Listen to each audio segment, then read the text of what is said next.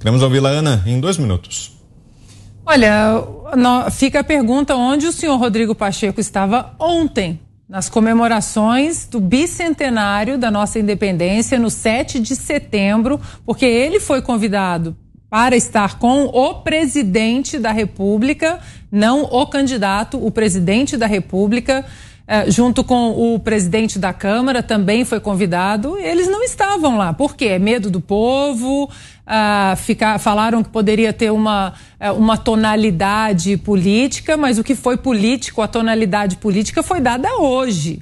Porque falar do 7 de setembro no 8 de setembro não apareceu nas comemorações, não deu a cara, não, não colocou ali a sua presença física diante do povo que o elegeu né? Afinal de contas, Rodrigo Pacheco, o senhor é um representante do povo. O senhor está na cadeira de presidente do Senado falando em nome do povo. A gente sabe muito bem que o senhor não gosta muito das ferramentas constitucionais que o senhor deveria usar para frear esse tipo de uh, as inconstitucionalidades que nós temos visto por parte do STF, principalmente do Alexandre de Moraes.